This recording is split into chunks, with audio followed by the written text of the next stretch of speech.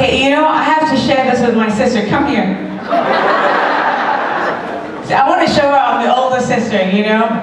And um, I think everything I do, um, I do for the women that I talk to about cancer.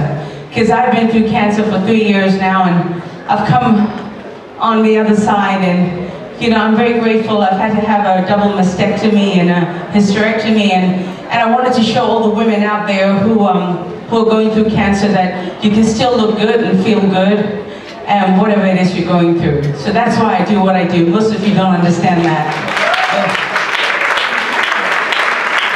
And my little sister thinks, you know, she's like, she's the queen bee.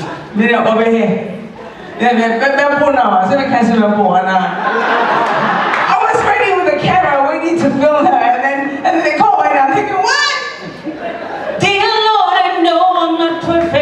I lie to myself that I'm full of conviction, amen. I try hard to be your angel, your shining star.